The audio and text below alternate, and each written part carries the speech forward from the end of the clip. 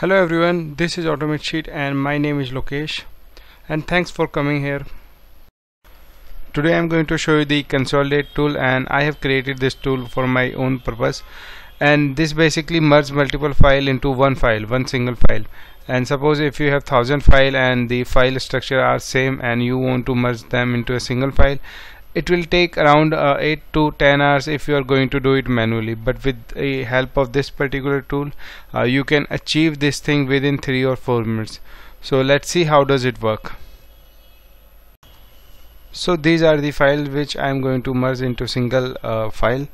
So I'm just going to open this file so that you can see that the format and the structure of the files are uh, exactly the same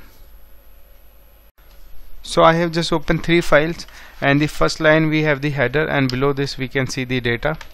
And again for the other file it has uh, header in the first row and below this you can see the data and same for the third file.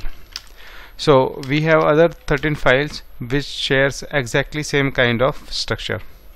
So now we are going to run our tool we have already seen this file. Now I'm going to click this button. Once you click this button you can select the folder here.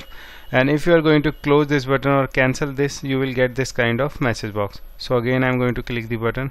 And now I'm going to select my folder. This is inside test folder and this is my folder. So I just click over it and press the OK button. So once you press the OK button you will get another message box which will going to ask you it has the headers or not. So we know that our file has the headers. So simply I'm just going to click here yes. So once you click the yes you will see that it is asking me to save the file.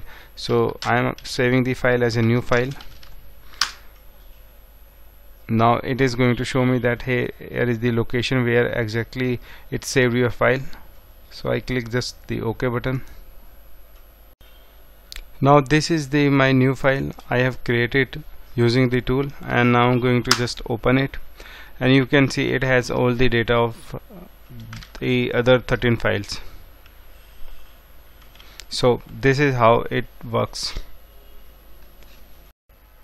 Thanks for watching this video and please subscribe my channel and like this video.